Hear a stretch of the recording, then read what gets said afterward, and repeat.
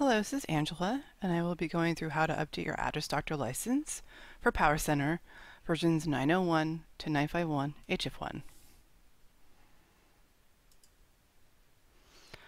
First, we'll go through the steps. First, we'll navigate to the server bin directory of your PowerCenter server installation.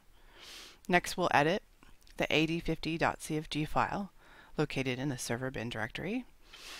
And we will update the value for license key with your Address Doctor license number.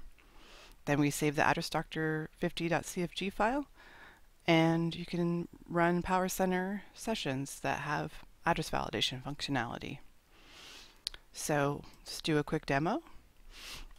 Right now I am in the server bin directory of my installation. I'll open up my Address Doctor 50.cfg file and I will navigate down to the license key.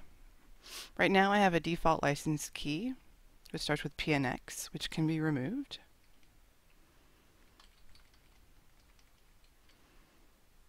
And then I will just take my address doctor license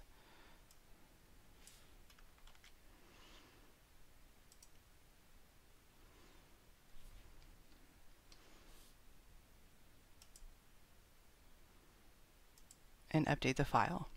If you have more than one license, you can add a comma and then update with your additional license.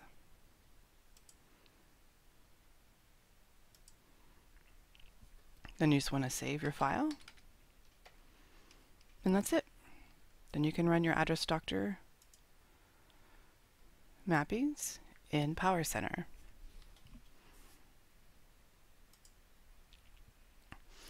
If you have any feedback, please email us at supportvideos at informatica.com or tweet us at infasupport.